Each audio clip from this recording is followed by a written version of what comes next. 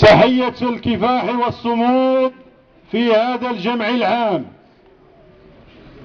الذي وسبق لنا أن نظمنا مثله في العاشر من شتنبر من هذه السنة. أي شهرا كاملا من بعد الحريق المالي الذي أتى على شركة سمير. وقلنا في هذا المكان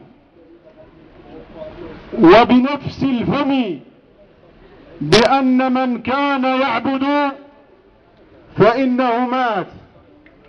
ومن كان يؤمن باللات والعزى فإن كل التماثيل والأصنام سقطت وستسقط تباعا من يوم لآخر. لأننا وصلنا المنعرج ولأن الفسد وصل أوجه والأمة تخرب بفسادها. وحينما يستشري الفساد فسيأتي الانهيار وستأتي النهاية. نريدهم أن ينتهوا جميعا ولكن لا نريد لمؤسسة سامير أن تنتهي لأن سامير هي التاريخ هي الوجدان هي الوجود. هي الاستقلال هي الأمل هي السيادة فكل من يعتبر نفسه مغربي وبغض النظر نظر عن كل الحسابات الهامشية فإننا اليوم أمام قصف مباشر وخطير لسيادة المغرب ولأمنه الطاقي ووجب على الجميع أن يتحمل مسؤوليته إننا اليوم وبعد التقرير الأخير للمنظمة الدولية فالمغرب على مستوى المؤشرات الطاقية ما زال مصنفا في الرتبة 111 وهذا التصنيف يعتمد أساسا على مدى قدرة الدولة على تأمين أمنها الطاقي والمغرب بهذا الشكل الذي دخل به. فإنه غامر بكل أمنه الطاقي وغامر بكل سيادته في هذا المجال. نحن اليوم نتحدث ربما لأننا نقابيون أو للصدفة أننا نقابيون ولكن كانت الأقدار أن نكون غير هذا.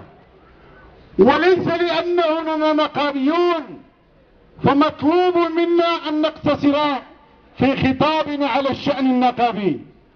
إنما يقع اليوم في شركة سمير أيها المغاربة هو تقاطع لكل الأبعاد في الاجتماع والسياسي والحقوقي والنقابي ومن هذا المنطلق فإن إخوانكم في الجبهة النقابية وتحديدا في الكونفدرالية الديمقراطية للشغل والفيدرالية الديمقراطية للشغل والاتحاد الوطني للشغل بالمغرب لم نشأ أن تبقى القضية قضية نقابة صرفة وقررنا أن ننقلها إلى داخل مدينة المحمدية بمؤازرة حلفائنا في التنظيمات السياسية وفي الجمعيات في مدينة المحمدية. ونحن في الطريق إلى أن يصبح هذا الملف ملفا وطنيا.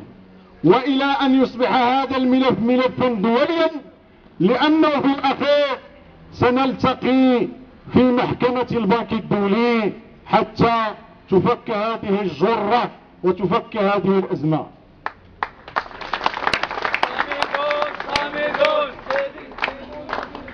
أخواتي إخواني لم يسمع لنا الجميع أو لم يفهم الجميع ما كنا نقوله وإلى حدود اللحظة فما زال من يعتقد أن العملية مسرحية مفبركة وسيموت بطل الفيلم قبل نهاية حلقاتها.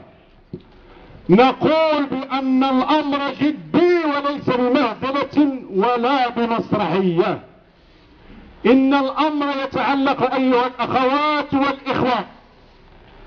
بتورط سياسي للمغرب من خلال معجيل سياسة الخوصة وتفويت أموال وممتلكات الشعب دون أن يضع كل الضوابط وكل القيود من أجل ضمان حقوق جميع الأطراف.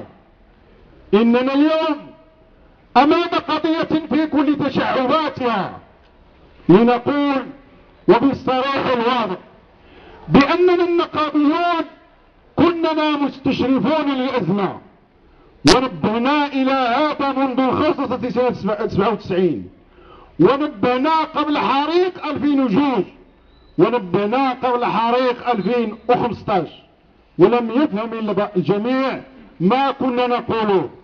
أهل اتعب الجميع. أهل فهم الجميع. أهل اكتوى الجميع بنار هذه الأزمة الجواب هو بالإيجاب الجميع خاسر في القضية.